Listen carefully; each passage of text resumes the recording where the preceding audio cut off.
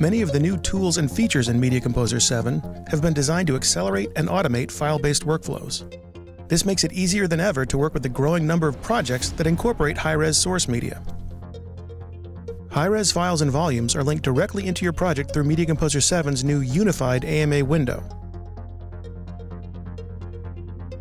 AMA is a plugin architecture that enables source media from Red, Arri, Sony, Panasonic, Canon, and more to play back inside Media Composer.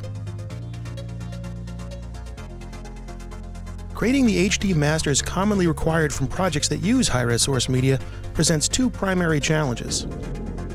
The first is how to manage the differences in resolution.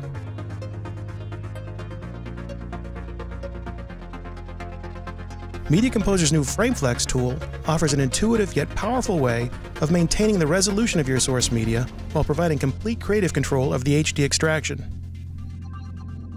Whether it's a single clip or an entire volume of media, FrameFlex makes quick work of reframing high-res sources. This is a non-destructive process that can be changed at any time. In fact, during editorial, it may be necessary to make additional changes to the framing of certain clips for either creative or corrective reasons.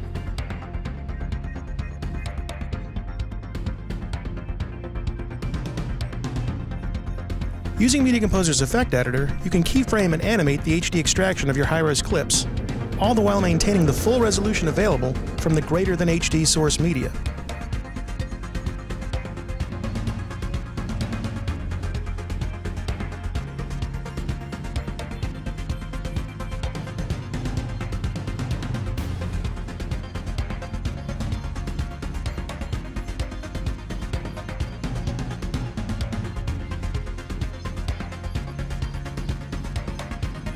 The second challenge present in delivering HD from high res is the differences in color space between the two.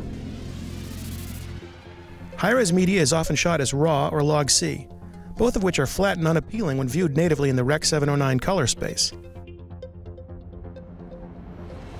Media Composer 7 overcomes this problem with the addition of 1D and 3D LUT support.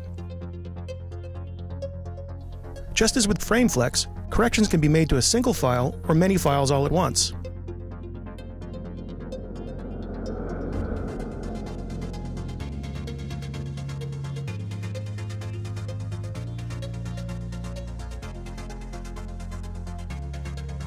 Since this is a non-destructive process, it's especially useful for color correction, where it's usually desirable to correct the native color space without a LUT in place.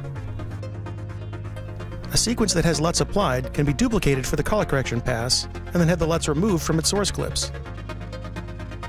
A simple refresh of the sequence is all that's required to do this.